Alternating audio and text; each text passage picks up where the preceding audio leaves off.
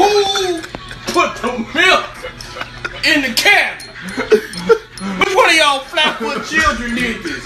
It wasn't me. Bro, I didn't have no cereal this morning. I don't remember. It was y'all two that had the cereal this morning. I don't know. Who put the milk Let's just put it in the in the refrigerator. cabinet?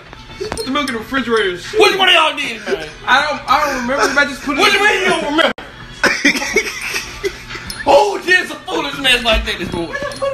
Who did this? Which one? Oh, you forgot. Yeah, So sure you- me or So it was you. Maybe I don't know. You just said I forgot. I don't remember. It was you then. I might have done it.